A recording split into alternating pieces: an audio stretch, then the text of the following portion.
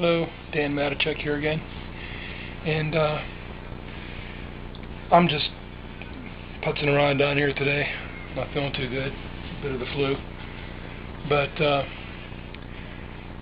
I wanted to show you uh, one thing. I'm, I'm basically doing all the little things that I, that I know I need to do to get down here to be ready to, to start actually making things. Trying to catch up. And uh, I had to make uh,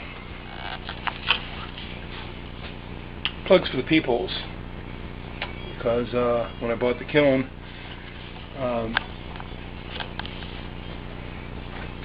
she only had one.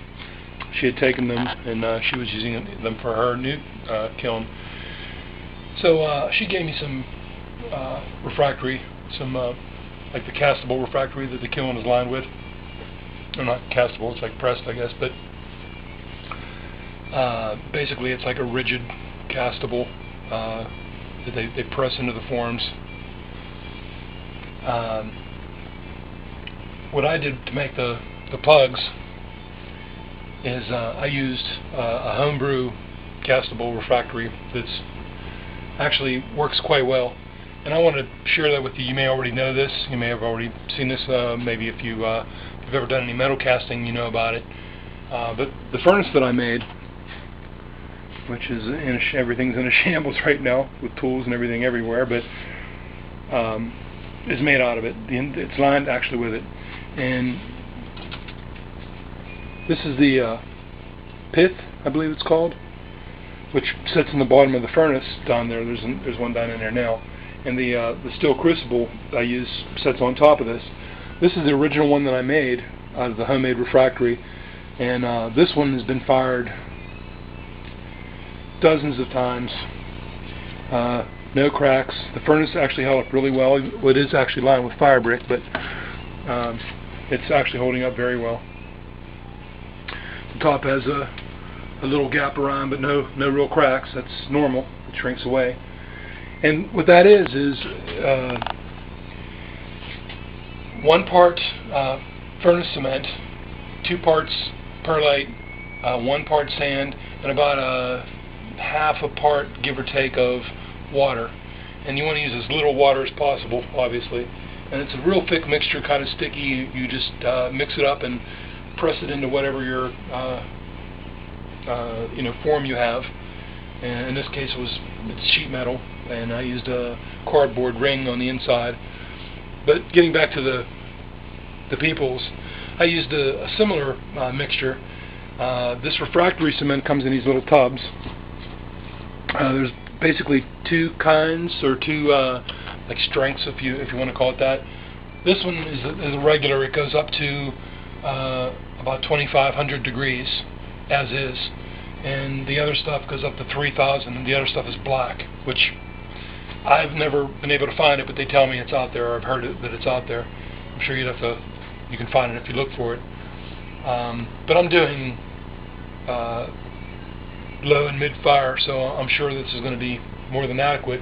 I've melted, I've melted copper, uh, aluminum, like I say, dozens of times, and copper a few times. Actually, overheated copper a few times in that furnace with no meltdown, so it's it's pretty good stuff. Uh, the perlite, I don't know if you're if you're familiar with that. It just comes in these bags, uh, real real lightweight, uh, white, almost like uh, crumbled up uh, styrofoam is what it's like.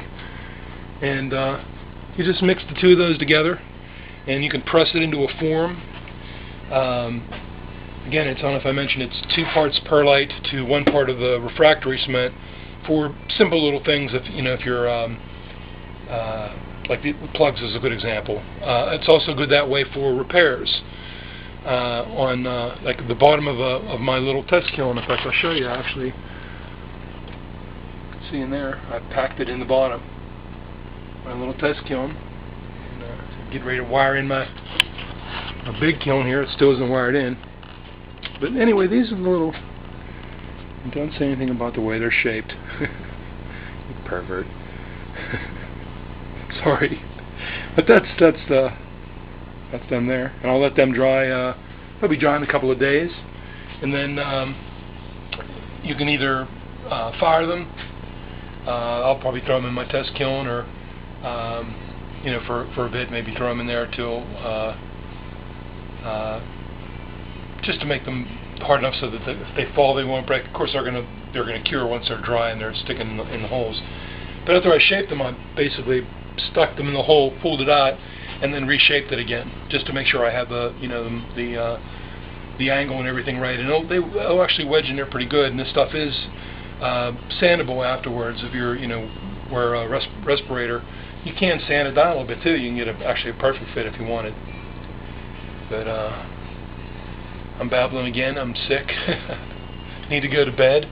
But I'm down here messing around, so yes, that's about it. And uh, well, I did. I made another batch. I got five more.